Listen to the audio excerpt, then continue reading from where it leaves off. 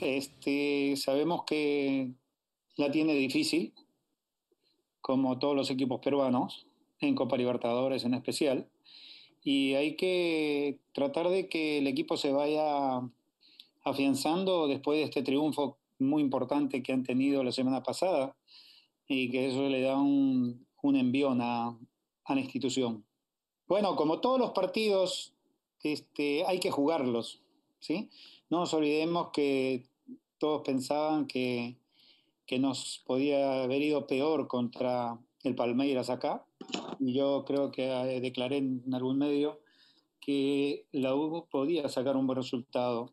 Eh, hubo un, un, desconcierto, una desconcentración en el último, en el último minuto, y no se pudo lograr ese resultado que de alguna manera hubiese sido muy importante con, con este, con este plantel de Palmeira que, que, ha sido el último campeón de la Copa, pues, ¿no?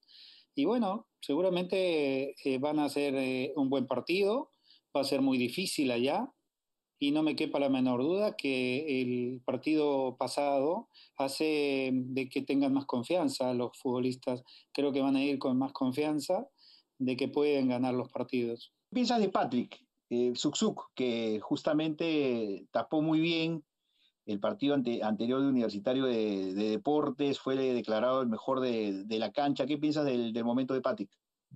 Bueno, yo la verdad que eh, siempre estoy tranquilo y cuando, cuando le toca jugar, este, eh, soy consciente de que eh, él es un muy buen arquero, es un arquero muy distinto, es un arquero que, que, es muy distinto a muchos arqueros del fútbol peruano, tiene un estilo muy distinto.